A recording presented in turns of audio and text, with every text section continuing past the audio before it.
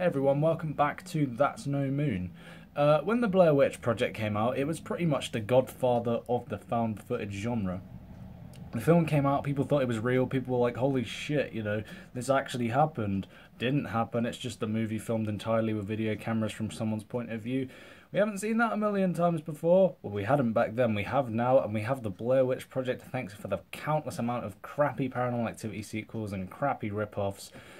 But the found footage format has returned back to its form with Blair Witch, which is a sequel to the Blair Witch Project, but kind of a reboot in a way. Um, so the plot follows a character whose sister was Heather from the Blair Witch Project, and he wants to, you know, find her again. He thinks she's still out there.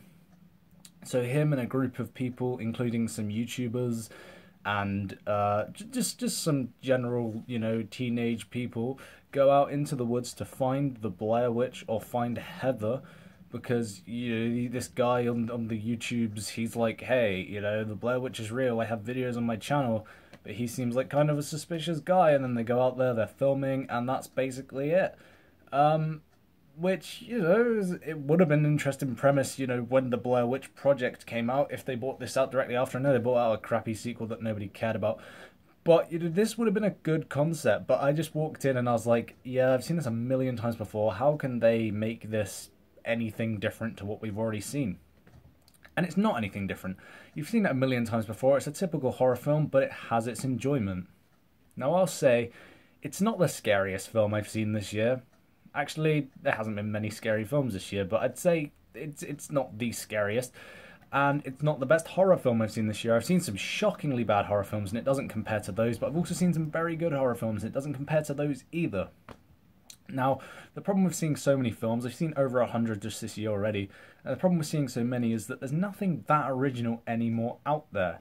You, there's nothing really that I haven't seen in terms of cinema, and that was, it's not this film's fault, but it's just that's the problem with seeing so many movies. You you kind of learn to compare them to other things, and you will compare this to films like Paranormal Activity that do the same thing over and over again. But this one did have its sort of. It had the modern twist to it. There was like a drone that was flying around and filming because in in sort of found footage horror films, it's always like they're continuously filming. The the batteries don't die, and there's no way they could have filmed from this angle and this angle. But in this one, they've got so many different cameras. They've got a drone. They've got head cams. So they actually explain quite a lot, and you actually see them charging the batteries on the camera, which is something that I like seeing.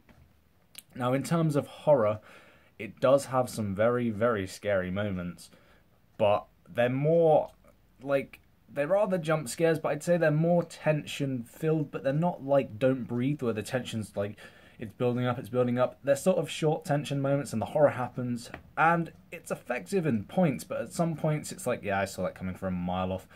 And by the time the ending comes, you're sort of thinking, okay, there's nothing entirely new here that I haven't seen. I saw all of this coming. I knew this was going to happen, and I knew it would happen this way.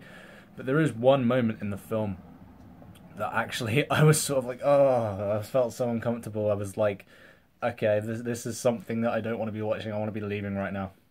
Uh, I'll compare it to Game of Thrones. Uh, Battle of the Bastards, there's that one scene where Jon Snow's underneath all these guys and he's being trampled and suffocated, and you really feel like you're there and you're suffocating with him.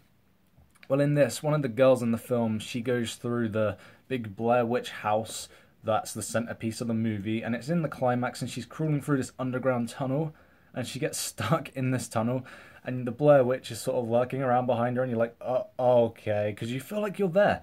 And the thing with what I mentioned with Jon Snow, that one it made me feel uncomfortable. I was suffocating with him, but this one was just more realistic because it's one person and it's something that can actually happen. And she was there. She was like not able to move. She was panicking, and I was feeling like I was panicking as well because she was panicking. And it was just the fact that the claustrophobia in this film it really adds to the scares and the tension. It's not something that I can say, you know, didn't make me uncomfortable because I'd be lying if I did. And that's the sort of things that I liked out of the movie, just the uncomfortable, tension-filled moments that really sort of it it puts you on the edge of your seat and it puts you in the shoes of the character that they're trying to sort of well, I guess kill off in a way. I mean, um, because that's what these movies are about, right?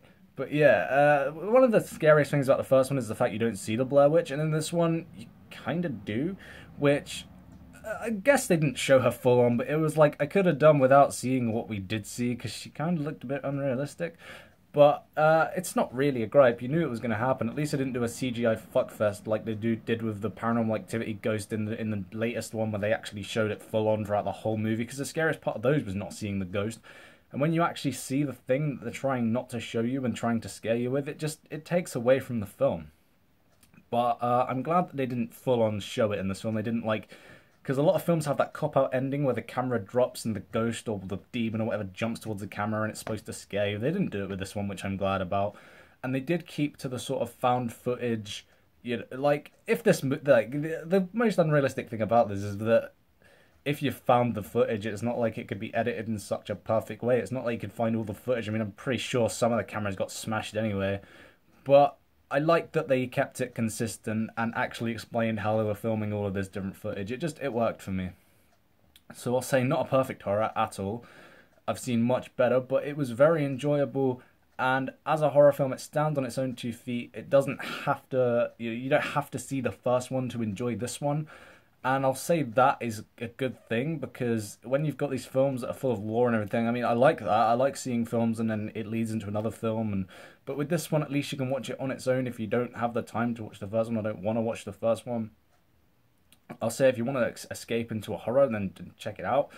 But like if I if I didn't have my unlimited card and I wasn't going for free, then I wouldn't pay for it. But it's it's worth seeing, I'd say. So Blair Witch, not the perfect film but not a bad film by any means. I'd say, yeah, give this one a go. I'll see you guys in the next video.